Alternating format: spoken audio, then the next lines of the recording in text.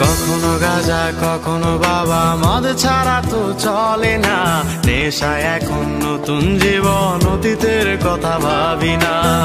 যে তুমি আপন ছিলে, দূরে সরে গিয়েছো। অবুঝে হৃদয়টারে শূন্য করে দিয়েছ।